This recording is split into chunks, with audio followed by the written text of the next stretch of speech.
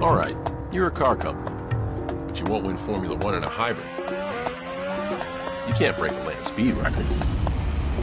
Air. You will not conquer the air. Well, you'll never make a real truck. Or compete off-road. Yeah? What if you can't see the road? What about when there is no road? No land? No gas? They've challenged us to do a lot of things. What will we do next?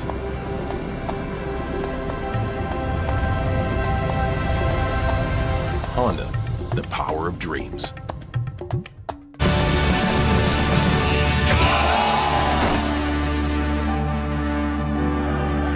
If you believe in it, then anything is possible.